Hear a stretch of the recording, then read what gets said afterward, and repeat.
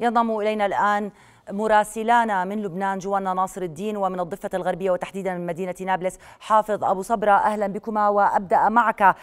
حافظ قالت صحيفة وول ستريت جورنال الأمريكية عن مصادر مطلعة إن قوات إسرائيلية خاصة نفذت عمليات تسلل صغيرة في جنوب لبنان لجمع معلومات استخبارية. في رصدك للصحافة العبرية وردود وتصريحات المسؤولين الإسرائيليين هل ترصد أن لبنان على قاب قوسين أو أدنى؟ من اجتياح أو توغل بري وهل هكذا قرار يتوقع أن يتخذ هذه الليلة خلال الاجتماع الوزاري الأمني الذي يعقده نتنياهو؟ يعني إن كانت الأمور تمت كما هو مفترض فإن الاجتماع اجتماع المجلس الوزاري الأمني المصغر قد بدأ منذ عشرة دقائق أو منذ أحد عشر دقيقة في الكرياف في تل أبيب. ومن المفترض أن يعني يخرج من هذا الاجتماع وفق يعني التوقعات الصحفية العبرية يعني ما يتعلق بالمصادقة على البدء بعملية برية في جنوب لبنان. كل المصادر في النصف ساعة الأخيرة كانت مصادر أمريكية أمنية رفيعة المستوى ترفض الكشف عن نفسها وتتحدث عن أن تموضع القوات الإسرائيلية على الحدود الشمالية تشير أن العملية العسكرية البرية ستبدأ خلال ساعات فيما نقلت يعني قناة اي بي اس الأمريكية عن مصدر أمريكي تقول بأن القوات الإسرائيلية ستدخل إلى مساحات ضيقة من الشريط الحدودي لتدمير البنية التحتية لحزب الله. ومن ثم ستنسحب أي أن العملية العسكرية ستكون عملية عسكرية خاطفة وفقا لهذه المصادر وأنها لن تستمر لوقت طويل وأنها ستكون في مساحات أو في شريط حدودي ضيق. هذا كله نقلا عن مصادر أمريكية. منذ أن صرح وزير الجيش الإسرائيلي يوآف جالنت حول أن العملية البرية باتت قاب قوسين أو أدنى وأنه لابد من وجود عمليه برية أو دخول بري للجيش الإسرائيلي لم يصرح أي مسؤول إسرائيلي حول الأمر. على الأغلب أن الجميع سينتظر أو ينتظر ما سيصدر عن اجتماع المجلس الوزاري الأمني المصغر. هذه المشاورات التي لربما قد تطول لساعات تماما كما كل الاجتماعات خلال الفترة الأخيرة. وكما قلت منذ قليل على الهواء مع زميلة رانيا خلال التغطية قلت بأنه يعني اجتماعات كهذه مماثلة هي ذات الظروف التي حصلت قبيل الاجتياح البري لقطاع غزة في الثالث والعشرين من أكتوبر الماضي. ويعني على ما يبدو أن نتنياهو يستغل الوقت ويستغل الظروف التي كانت لصالحه خلال الأيام الأربعة عشر الماضية في ظل كل ما وصفته الصحافة العبرية بإنجاز رفع نتنياهو بمراتب كبيرة في استطلاعات الرأي وتوجه ملكا كما يحب لإسرائيل من خلال كل ما حققه من عمليات اغتيال وتحييد للمقاتلين في صفوف الحزب اللبناني. من هذا المنطلق الكل ينتظر ما يعني سيصدر عن الاجتماع لهذه الليلة. متى سينتهي الاجتماع لا نعلم حقيقة ولكن من المفترض أنه بدأ. الكثير من التوقعات حول الأمر كلها تصب في ناحية بدء العملية العسكرية خلال ساعات. وحتى هناك تصريحات للرئيس الأمريكي جو بايدن يعني بشكل حرفي قال بأنه يتوقع أن لا تتم. هذا أيضا قاله في قبيل الاجتياح البري لقطاع غزة وهي ذات الاستراتيجية الأمريكية في التعامل مع الأمر. قبل قليل نشرت مواقع صحفية أجنبية قالت بأن الولايات المتحدة الأمريكية تدفع بمزيد من القوات الإضافية إلى الشرق الأوسط لمحاولة السيطرة على التصعيد على الجبهة الشمالية لإسرائيل وقالت بأنها يعني من واجبات هذه القوات الإضافية الدفاع عن إسرائيل والحفاظ على مسار دفاعها عن نفسها. نعم شكرا لك حافظ وأنتقل إلى بيروت ومراسلتنا. جوانا ناصر الدين أهلا بك. جوانا وزير خارجية فرنسا الجديد جان نويل بيرو في بيروت وبارو عفوا وفي الأجندة المعلنة للزيارة حل مشكلة الشغور الرئاسي كخطوة أولى لوقف إطلاق النار في لبنان. كما نعلم هكذا خطوة تحتاج إلى نجاح البرلمان في اختيار رئيس للجمهورية رئيس جديد. هل الفرقاء اليوم قادرون على ذلك؟ وماذا عن الأفكار الأخرى التي حملها وزير خارجية فرنسا؟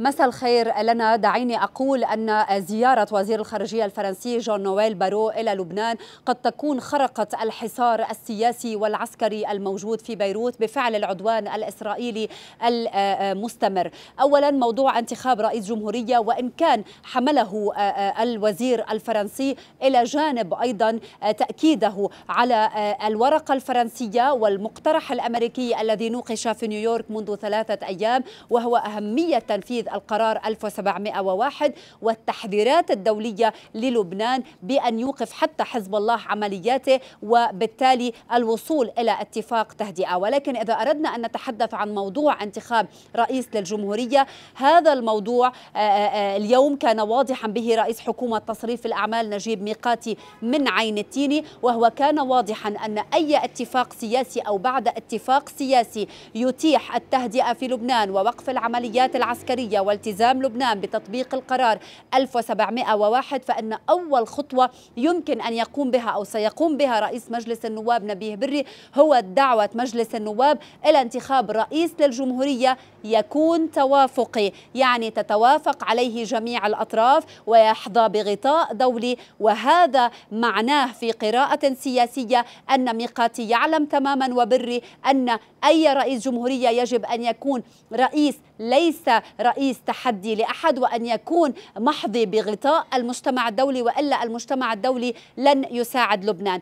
كل هذا لن يكون قابل للتحقيق ولن يكون باستطاعة أي فريق لبناني ولا كل الأفرقاء اللبنانيين أن ينتخبوا رئيس للجمهورية. ما لم يتم توقيع اتفاق تسوية مع الاحتلال الإسرائيلي وبغطاء من المجتمع الدولي وتنتهي هذه الحرب وعندها يبدأ الحديث عن انتخاب رئيس للجمهورية اللبنانية. وفي هذا الإطار اسمحي لي أن أقول أن كل المسار الذي بدأ في نيويورك منذ ثلاثة أيام يستكمل في لبنان عبر نبيه بري وعبر نجيب ميقاتي وإلى جانبهما قائد الجيش العماد جوزيف عون المعني الأول بنشر الجيش اللبناني في الجنوب اللبناني وبالتالي تطبيق القرار 1701 هو اتفاق حماية سياسية قبل أن يكون اتفاق أمني أو عسكري وانتخاب رئيس لا يمكن أن يتم قبل الوصول إلى هذا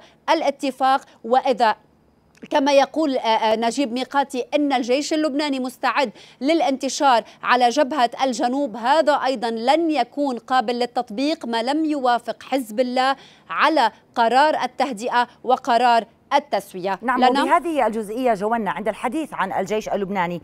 وفقا للمعلومات التي توفرت لدينا تتكون القوات المسلحة اللبنانية من أكثر من 84 ألف عنصر فعال. إلى أي مدى يمكن للجيش اللبناني اليوم إن جرى الاتفاق على أن يحل في الجنوب أن يحمي سماء وأرض وبحر لبنان وهل بصراحة يثق المواطن اللبناني بالجيش بعد أن كان حزب الله لسنوات وسنوات هو حامي الجنوب إن صح التعبير؟ بالفعل كما ذكرت لني لك لنا اولا انتشار الجيش في الجنوب يحتاج بالدرجة الأولى إلى حماية سياسية داخلية وخارجية. هذا اولا وموافقة حزب الله على هذا الموضوع.